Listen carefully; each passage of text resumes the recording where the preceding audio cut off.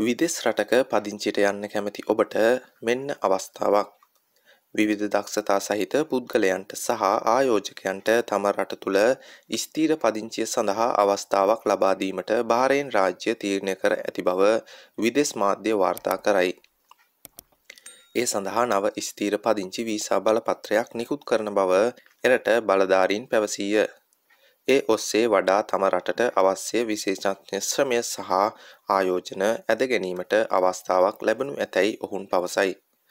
එරට සේවය කිරීම සඳහා පැමිණෙන විදෙස් ජාතිකයන් සඳහා මෙතෙක් පැවති ක්‍රමවේදය වූයේ වාර්ෂිකව රැකියා වීසා කාලය දීර්ඝ කිරීමයි. එමගින් ඔවුන් එරට තුළ දීර්ඝ කාලයක් රැඳී සිටීම පාලනය කෙරිණි. නව ක්‍රමවේදය ගෝල්ඩන් රෙසිඩන්ට් වීසා ලෙස නම් කර තිබේ.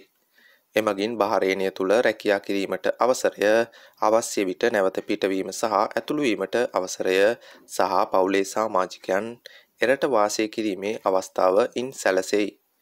මෙම වීසා ක්‍රමවේදයේ අරමුණ ආයෝජකයන් විවසායකයන් සහ අතිදක්ෂ පුද්ගලයන් මෙරටට ගෙන්නාගෙන එමගින් බහරෙන් ආර්ථිකය සාර්ථක කර ගැනීමයි. ඒ සම්බන්ධයෙන් අභ්‍යන්තර කටයුතු අමාත්‍යන්සය නිකුත් කළ නිවේදනයේ දැක්වේ. එම වීසා සඳහා සුදුසම් ලැබීමට නම් එම පුද්ගලයා වසර පහක් එරට වාසය කර තිබිය යුතු අතර මාසික වැටුප බහරයෙන් ඩිනාර් දෙදහක් විය යුතුවේ. මෙවැනි පාත් දික්පතා නැරබීමට පිටරට අප YouTube චැනල් එක අදම සබස්ක්‍රයිබ් කරන්න. ඒ වගේම ඒ ළඟම තියෙන බෙල් අයිකන් එක ක්ලික් කරන්න. එතකොට තමයි අපි දාන වීඩියෝ සැනින් එසැනින් ඔයාලට බලාගන්න පුළුවන් වෙන්නේ.